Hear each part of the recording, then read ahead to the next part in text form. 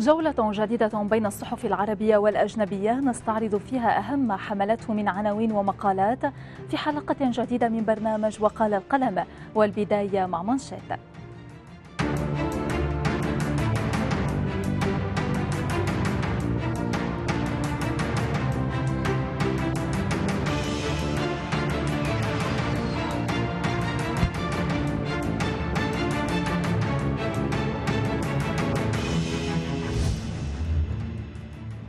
بداية مانشات لهذا اليوم مع صحف دمشق التي صدرت إسقاط التحالف الأمريكي لإحدى الطائرات السورية نصرة لتنظيم داعش الإرهابي.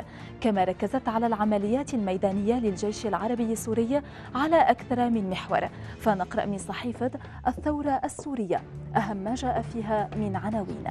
الجيش يستعيد محمية التليلة بريف تدمر الشرقي ويستهدف برمايات مكثفة محاور تحرك داعش بدير الزور.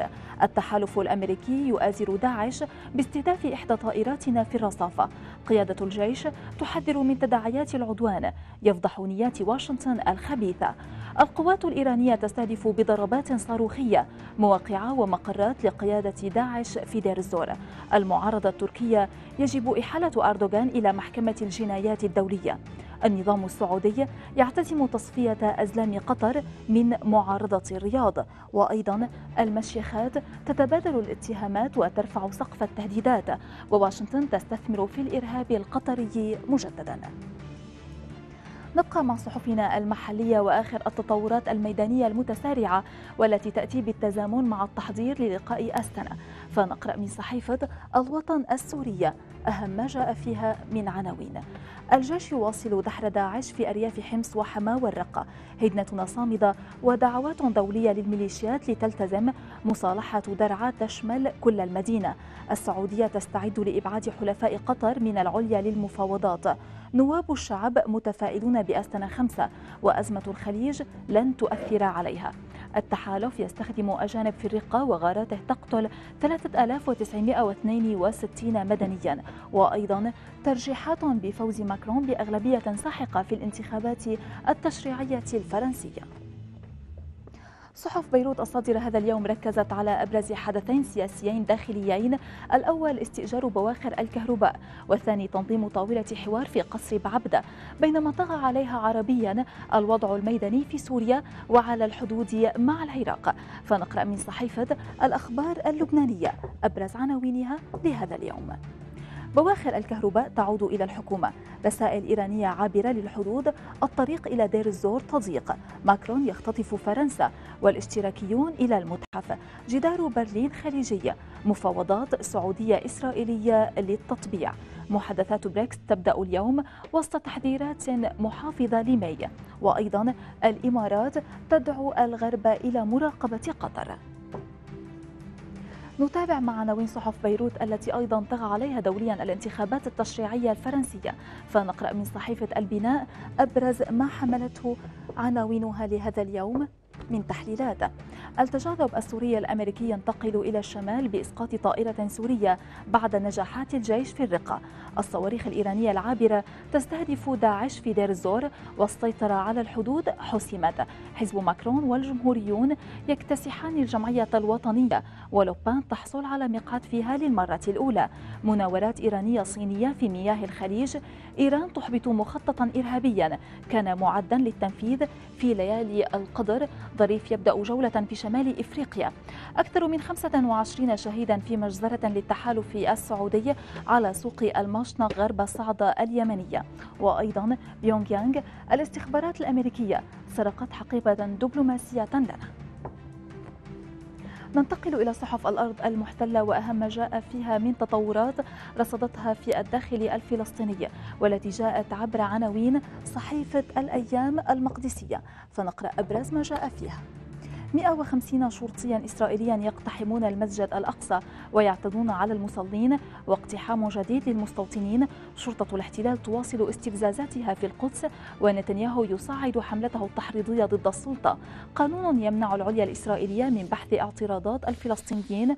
ترامب يندد بما يتعرض له من اضطهاد ومحاميه ينفي وجود أي تحقيق في شأنه. وأيضا القوات العراقية تقتحم المدينة القديمة في الموصل. ننتقل مشاهدينا إلى صحف بغداد وأهم ما جاء فيها من رصد للعمليات العسكرية المتسارعة فيما يخص تحرير أيمن الموصل. فنقرأ من صحيفة الصباح الجديد العراقية أبرز عناوينها لهذا اليوم. العمليات المشتركة تعلن انطلاق عملية الحسم لتطهير ما تبقى في أيمن الموصل. العبادي يدعو السياسيين للكف عن لغة التسقيط ويحذر من الحروب بالنيابة. مقتل 27 إرهابيا وتدمير مضافات ومعملين للتفخيخ غربي البلاد. بعد القيارة أهالي العليل يستعدون لطرد عائلات داعش. القوات العراقية تعرض على عناصر داعش الاستسلام. مقتل ضابطي شرطة وثلاثة مجندين بالعاصمة المصرية. إصابة أكثر من 500 جندي تركي بالتسمم. وأيضا الأمين العام للأمم المتحدة يسمي مبعوثا جديدا لليبيا. إلى هنا مشاهدينا ننهي مانشات وننتقل إلى تقرير لأهم ما تناولته أقلام الكتاب في إصدارات اليوم.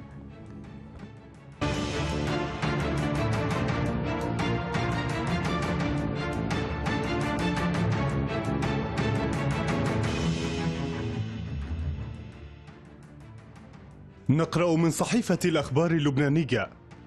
فيما يكثف الجيش السوري وحلفاؤه عملياتهم عبر مختلف المحاور تمهيدا لطرق أبواب دير الزور. أخذت أجواء التصعيد منحا متزايدا مع قيام التحالف الدولي بإسقاط طائرة سورية أمس فيما جاءت الأنباء عن دخول صواريخ إيرانية على خط الحرب ضد داعش لتكمل رسم المشهد. ومن افتتاحية الخليج الإماراتية نقرأ اجتماعات جنيف لن تشهد تحولات بارزة في المواقف لأن ما يجري في الميدان هو الأساس. وما يتفق عليه من بيدهم الحل والربط هو الذي يحدد الاتجاه باستثناء ما يتردد عن تعديل في وفد الهيئة العليا في المفاوضات معارضة واحتمال إقصاء جماعة قطر والإخوان عن الهيئة واجتماعات جنيف سبعة وأستنا خمسة هي عدة الشغل اللازمة عندما يحين أوان الحل. أما الآن فمهمتها التأكيد على أن التسوية لم تمت. قال محي الدين المحمد في تشرين السورية لقد انكشفت كل خيوط المؤامرة وبات داعمو الإرهاب يفضحون أدوارهم بعد أن فشل مشروعهم المشبوه. وأعتقد أن معظم من غرر بهم وحملوا السلاح ضد الدولة يفكرون في العودة إلى لغة العقل والتحرر من سطوة داعمي الإرهاب وتجار الحرب الذين تاجروا بحياة البشر على امتداد السنوات الست الماضية.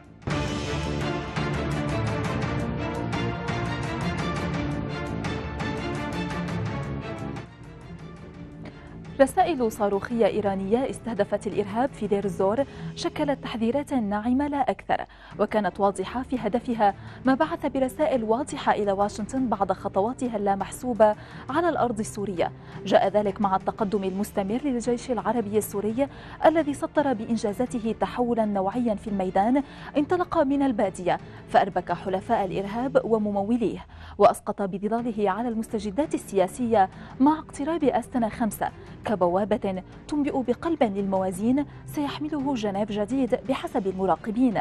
التطورات السياسية أناقشها مع ضيفي من حلب الخبير الاستراتيجي والعسكري اللواء المتقاعد هيثم خليل. أهلا بك. يا أهلا وسهلا بك والمشاهدين الكرام. شكرا لك. بداية يعني سيادة اللواء إسقاط الطائرة السورية جاء في سياق سلسلة خطوات تصعيدية أمريكية وهي يعني طبعا تلت استمرار تقدم القوات السورية وعلى رأسها أيضا نشر منظومة هيمارس الصاروخية في التنف. ما الهدف من هذا التصعيد الأمريكي اليوم؟ سيدتي التصعيد الأمريكي ليس وليدة اليوم يعني. إذا طلعت من فترة من أكثر من شهر لما اتجه الجيش باتجاه البادية والحدود العراقية فصار اطلاق نار أو ضرب بعض المواقع السورية بحجة اقترابها من القوات العراقية القوات الأمريكية اللي هي أصلا موجودة على الأراضي السورية بشكل غير رسمي يعني قوة احتلال. يعني بما معنى سفاقه سياسية ما صارت وعسكريه لا. يعني أنت بأرضنا وبدك تجي تقول إنه أنا نحن عم نقترب منك ضمن أراضينا. فهذا بيأتي بهذا السياق هو استفزاز للقوات السورية. نعم. عسى والعسى تغير من سياستها واتجاه تقدم القوات. ضرب الطيارة السورية طبعا هذا حدث جديد لم يسمحوا له مثيل لأنه قوات التحالف الموجودة ضمن سوريا آه، قوات تحالف غير شرعية حتى كان على الأرض أو بالسماء. نعم. تحالف غير شرعي يعني معناتها بغير موافقة الدولة السورية. بينما الطيار الروسي اللي بيهتونا به والجواز الايراني هو بطلب من الحكومة السورية الرسميه يعني شرعي 100% لكن هذه السابقة الطائرة لم تحدث سابقا وأنا أتوقع يعني للشخصي إنه راح يكون في آه، يعني في رد معين مش شرط يكون على السماء ممكن يكون على السماء ممكن يكون على الأرض. لكن هذا هو مثل ما لتبطيخ خلينا نقول أو توقيف القوات السورية المهاجمة اللي وصلت تقريبا إلى الرقة الطبقة والرقة والتنف باتجاه البوكمال البوكمال والميادين القوات العراقية هذا الأسبوع ممكن تدخل لهم هذا اللواء الكلام عم بيحاولوا يفهمونا إنه نحن ممكن نضرب لكن هذا الكلام غير صحيح. نعم. نحن بنقول إنه أمريكا ليست قوة لا تقهر والتاريخ آه، آه، في شواهد كثير على هذا الكلام. نعم. لكن أنا باعتقادي لازم يكون في آه، ضربه نوعيه أو تحرك عسكري ردا على ضرب الطائرة السورية لانها حادثه لم لم غير مسبوقة. نعم. وأنا أتوقع في شيء بهذا الحدوث هذا الأسبوع بهذا بهذا الاتجاه. يعني أيضا في ظل مواصلة الجيش العربي السوري وحلفائه آه، ما أطلقت عليه الصحف يعني تعبيد الطرقات نحو دير الزور على مختلف المحاور. كيف تحلل المشهد الميداني في سوريا؟ وأيضا آه، ما هي انعكاساته سياسيا؟ سيدتي السياسة اللي انطلقت بعد الأستانة أربعة وتحديد مناطق خفض التوتر المعروفة سابقا أدت إلى رياحة أو دعم للجيش العربي السوري بتحويل بعض قواته الموجودة حول مناطق خفض التوتر وتوجيهها باتجاه البادية، اتجاه البادية والحدود العراقية سيدتي. آه، ما في عندنا نحن مناطق يعني آه، قابلة أو أو بتاثر عنا عندنا أربع نقاط مهمة بالبادية والشرق السوري. هي الميادين والبوكمال والرقة ودير الزور. هدول أربع نقاط مهمة. يعني بيكفي الجيش آه، سيدتي يأخذ هذه المواقع بغض النظر عن البؤر الأخرى المنتشرة بكافة البادية لأنه هي تبقى تحصيل حاصل. إذا بتلاحظي لما القوات المهاجمة الفصائل المسلحة الإرهابية لما أخذت الدير آه، آه، اسمه تدمر ما ساحت البادية بالكامل. دخلت في خرق وصلت لتدمر ومن بعدها انبسطت على ولذلك هذه سياسة عسكرية. لما تضرب رأس الأفعى أو تأخذ مركز تجمع كبير بيسقط كافة التوابع أو المواقع التابعة له. نعم. نحن هلأ خطه الجيش العربي السوري مع القوات الرديفة والقوات العراقية الصديقة في عندنا الاربع بؤر هذول اللي هن بوكمال والميادين ودير الزور والرقة. تقريبا راح نوصل عليهم هذول النقاط سقطوا وراح يسقطوا قريبا. نحن نقول انتهت الحرب على سوريا نعم يعني تحدثت التحليلات على أن البوكمال يعني تشكل هدفا استراتيجيا للقوات السورية وربما يكون الأول هل من المحتمل يعني أن تكون أول معقل بارز لتنظيم داعش الذي يشهد عملية عسكرية مشتركة للقوات السورية والعراقية؟ ممكن لأنه امبارح بعض القيادات العراقية صرحت أنه لما وصلت الحدود السورية والتقت مع القوات السورية الهدف اللاحق إلى بوكمال والميادين وينتظرون ساعة الصفر والتنسيق مع القوات السورية. هلأ القوات العراقية والقوات السورية لما التقوا مع بعض على حدود سوريا في فترة زمنية بسيطة لتجميع القوات واستراحة المحارب ووضع الخطط الاستراتيجية للسيطرة على البوكمال والميادين. لأنه البوكمال والميادين هي في العمق الداخلي للبادية السورية يعني يبعد عن التنف مسافة منيحة. ونحن على الحدود العراقية السورية الجيش العراقي يطهر الحدود السورية والعراقية من الشمال باتجاه الجنوب ونحن من الجنوب باتجاه الشمال. والتقوا في منطقة سوف يتابعون العملية هي وأنا برأيي هدف الميادين. لأنه الميادين هي البديل للرقة.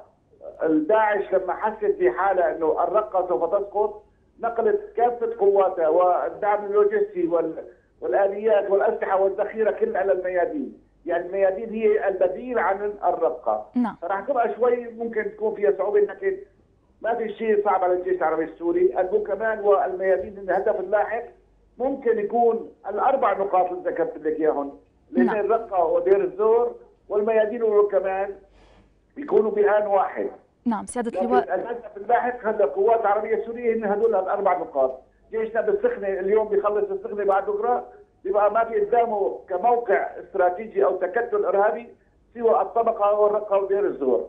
وهدول القوات السورية إن شاء الله في القريب العاجل سوف تصل إليهم نعم إن شاء الله يعني وبيكون بالحالة لما نعم. نعم. أربع نقاط نحسن نعتبر الحرب على سوريا المنطقة الشرقية والشمالية الشرقية انتهت يعني أيضا الصواريخ الإيرانية التي كانت قد توجهت لداعش في دير الزور آه، كانت محملة برسائل عابرة للحدود كما عنونت الصحف.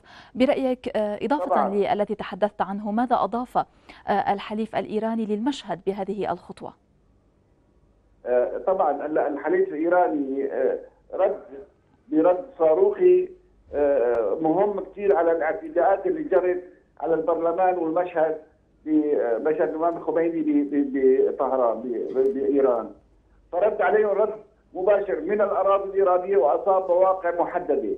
هذه رسالة إلى ال- ال- القوى خلينا نقول ما رح نقول أمريكا أو السعودية وقطر القوى المعادية لسوريا. خلينا نشمل الكل سوا إنه نحن موجودين إلى إلى جانب الجيش العربي السوري كما الأصدقاء الروس موجودين. ونستطيع ضرب أي هدف موجود بسوريا من إيران مع إنه ممكن كمان الطيران الإيراني يشارك بالعملية يخترق القوات ال- ال- ال- الأراضي العراقية ويوصل. لكن اثروا حاليا أنا برأيي هي رساله كثير مهمة للحلفاء اللي بيسموا حالهم الحلفاء إنه الخطة الموضوعة هي خطة ثابتة ومحكمة وسوف تتم بتطهير الشمال السوري والشرق السوري.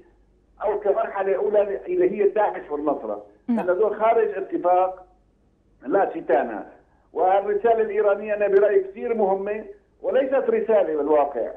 لكن هذا برهان على أنه نحن جاهزين وسوف نعيد الكرة مرة أخرى ثانية وثالثة. اذا هو جانب إلى جانب الروسي وجانب السوري والحلفاء.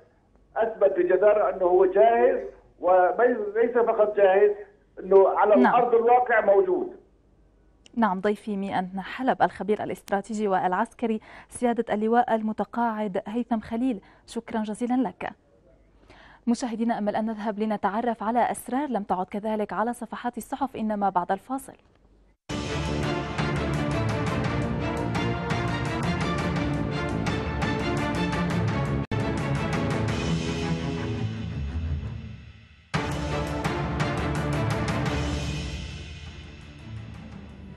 كشفت صحيفة التايمز في تقرير لها أن إسرائيل والسعودية تجريان محادثات من أجل إقامة علاقات اقتصادية بينهما. موضحة أن هذه الخطوة إذا نفذت يمكن أن تكون الخطوة الأولى نحو تطبيع العلاقات بين إسرائيل والخليج العربي. وستبدأ العلاقات الاقتصادية بالسماح للشركات الإسرائيلية بالعمل في الخليج وإمكانية السماح لشركة الطيران الإسرائيلية إلعال بالتحليق فوق الأجواء السعودية. وأشارت الصحيفة إلى أن تقوية العلاقات مع إسرائيل تفسر جزئيا لماذا قاطعت السعودية وحلفاؤها قطر إلا أن مصدرا مقربا من القيادة السعودية. رفض فكرة التقارب بين البلدين قائلا إنه يعكس فقط رغبة البيت الأبيض في تحقيق نتائج سريعة. بعد أن زار الرئيس الأمريكي دونالد ترامب المنطقة الشهر الماضي بدءا بالمملكة العربية السعودية. وأضافت الصحيفة التايمز أن سير ترامب ومستشاره ناقشا مع ولي ولي العهد السعودي محمد بن سلمان تحسين الدول الخليجية العلاقات مع إسرائيل تمهيدا لاتفاق سلام والاعتراف الكامل بكيان الاحتلال كدولة.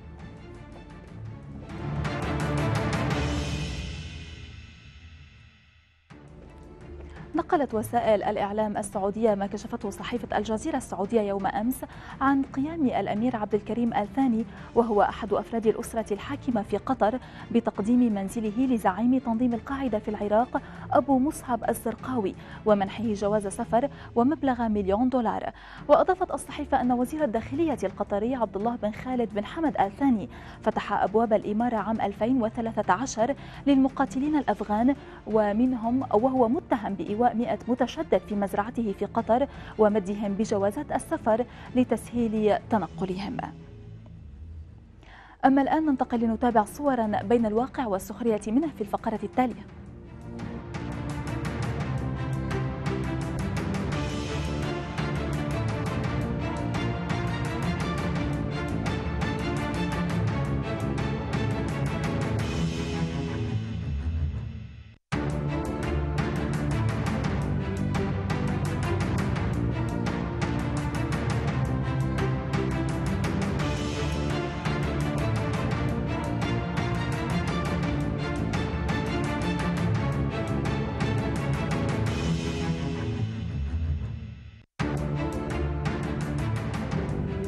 في الختام مشاهدينا لرسائلكم وتعليقاتكم تابعونا على صفحتنا على الفيسبوك. القلم الصحفي قال كلمته لهذا اليوم. نشكر لكم حسن المتابعة. بأمان الله.